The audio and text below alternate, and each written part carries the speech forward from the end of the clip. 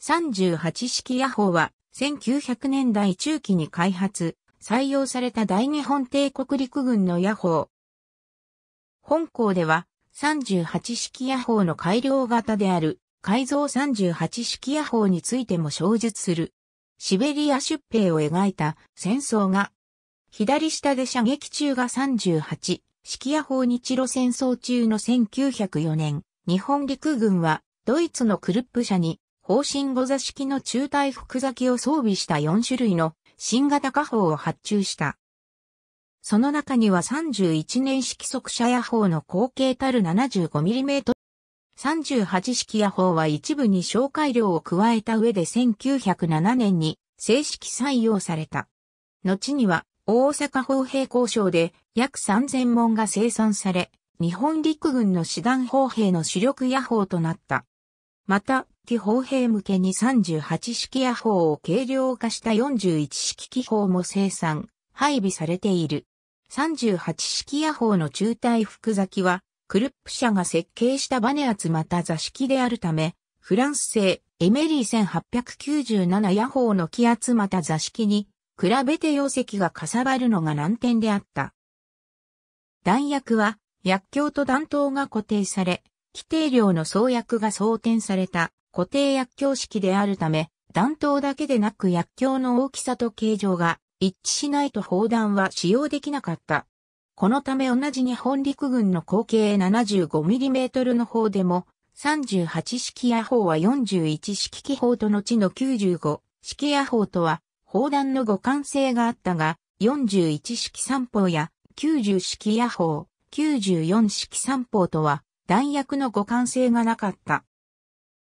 実戦投入は第一次世界大戦が最初であり、チンタオ攻略戦やドイツ植民地の南洋諸島攻略作戦で使用されたが、第一次大戦における日本の参戦は限定的なものであったためあまり活躍できてはいない。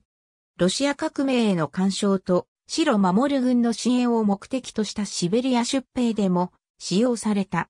改造38式野砲第一次大戦から戦艦期において欧州各国では急速に野砲の長射程化が進んだ。この時代の流れに対応するため新型野砲の整備が求められたが、それまでのつなぎとして既存の38式野砲を回収して射程を延伸させることとなり、改造38式野砲が開発された。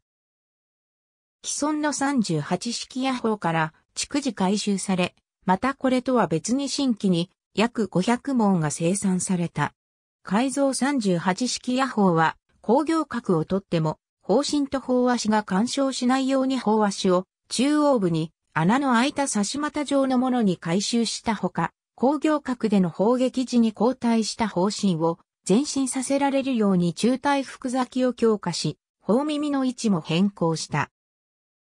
このため、改造38式野砲の中体複座機は、改造前の38式野砲のそれに比べて、やや前方に延長されている。そのため、未改造の38式野砲と比較して、最大射程を3000メートルほど延伸させることに成功したが、反面重量は 190kg ほど増大している。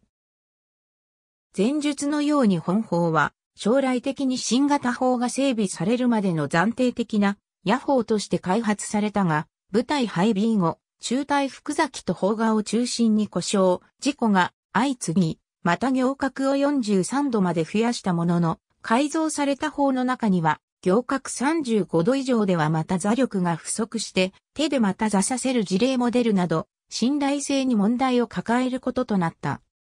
1935年前後頃には、38式野砲の後継となる90式野砲が開発、採用されたが、90式野砲は重量が大きいため機動力低下を懸念した参謀本部は90式野砲の設計をもとに射距離を犠牲にして軽量化を推し進めた95式野砲を正式採用する。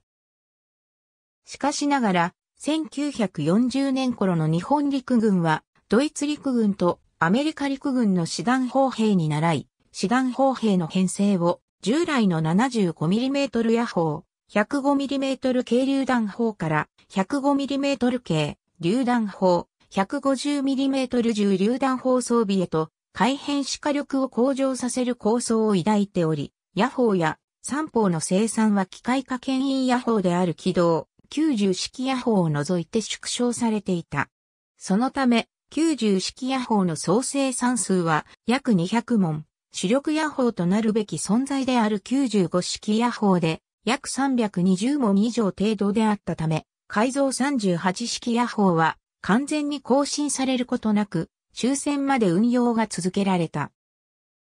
当初の完成輸入品400門、半製品400門、大阪造兵省の昭和17年10月末現在の生産数2559門の合計値。佐山二郎、日本陸軍の下砲野砲三砲 P97。佐山二郎、日本陸軍の下砲野砲三砲 P161。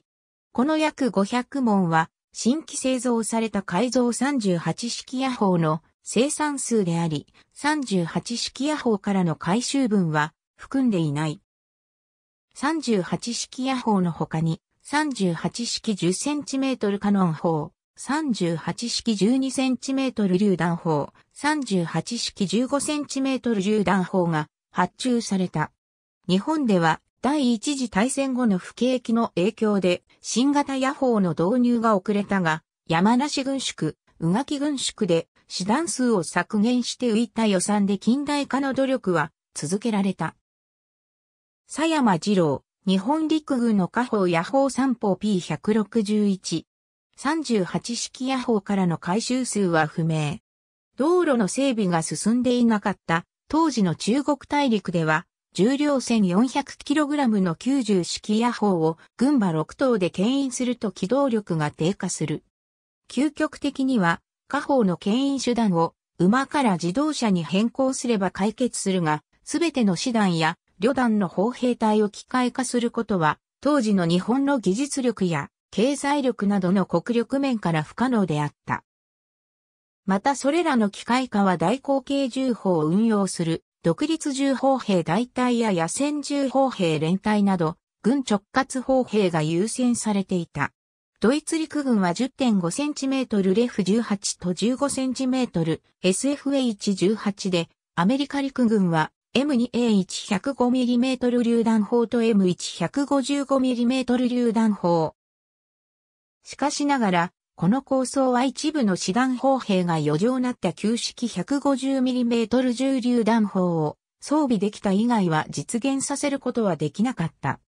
日本で大口径や戦砲を量産できるのは陸軍兵器省のみであり、また日本の国力の限界から需要を満たすことはできなかった。佐山二郎、日本陸軍の下砲や砲三砲 P243。